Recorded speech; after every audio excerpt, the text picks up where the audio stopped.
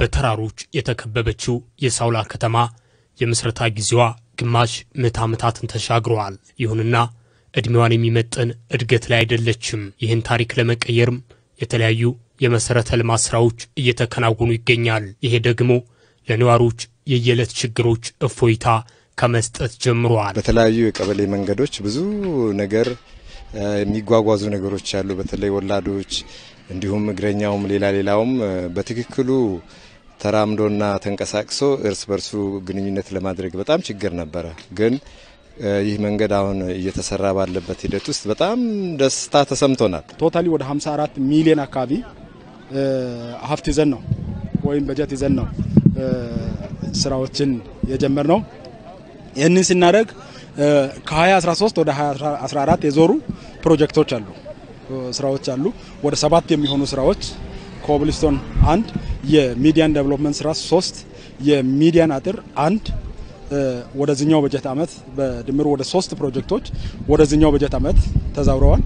ከዛ ውጪ በዚኛው በጀት አመት ብቻ ወደ 17 ተጨማሪ ፕሮጀክቶችን ነው አቅደን እየሰራን ያለ ነው።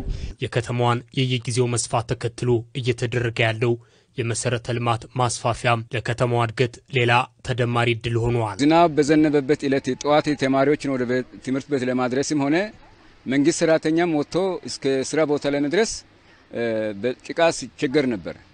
አሁን ይሄ መንገድ ወጥቶ በጠጠርም በሌላ ነገር ይሄ መንገድ ብነጠፍ ቢሰራ ማንም ከዚህ ታማሚም ሆነ ወደ ሐኪም ቤት ለመድረስ አምቡላንስም ገብቶ ወላድም እናቶችን ለመውሰድ በጣም ምቹ እንደሚሆን ነው ተስፋ የማደርገው። ኩስቲ ቀጠናን ከጉራዴ ቀጠና ጋር የሚያገናኝ መንገድ አለ።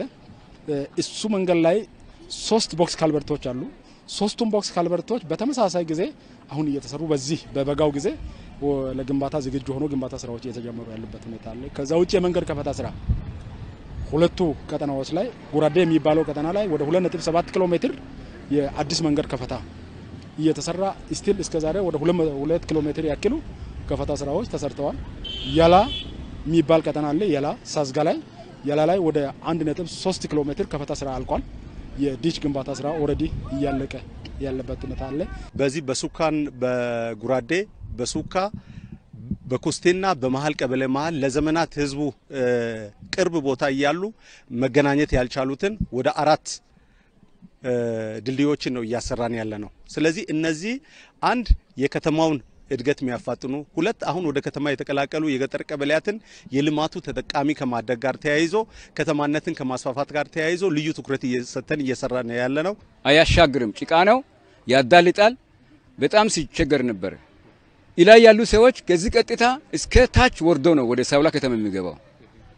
ቀጥታ በዚህ መግባት ሲችል ድልድይ በመጥፋቱ በጣም ተቸግሮ ታማሚውን ከዚህ ተሸክሞ እስከ ኮረት አድርሶ በዛ ዙሮ ነው ወደ ከተማ የሚወስደው ወደ ሐኪም ቤት የሚወስደው። ቀድሞ የተሰሩ መንገዶችን ከመጠበቅ ጋር ተያይዞ አዲስ የሚሰሩ መንገዶች ላይም ደግሞ ህብረተሰቡ በባለቤትነት አሁን ማህበራት ጨረታ ወስደው ወደ ስራ ይግቡ እንጂ ውሃ የማጠጣት ስራ፣ ማቴሪያል የማንሳት ስራ፣ ማህበራትን የመደገፍ ስራ በየቦታው ህብረተሰቡ እየሰራ ነው ያለው።